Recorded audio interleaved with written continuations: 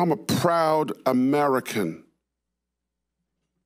This does not affect people of color. By the way, we all have a color. I have a color, you have a color. Stop this nonsense about black American and Hispanic American. We're all Americans. When you live here, when you take the pledge that I did on March the 5th, 1998, I became an American, period. We're all Americans.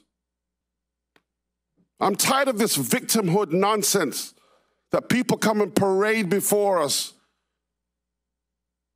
and they pull out the violin, and everybody's got to be so sympathetic because of your tears. I did it the right way. I waited and I didn't gripe. I didn't burn the flag. I love America. God bless the United States of America. I'm proud to be an American.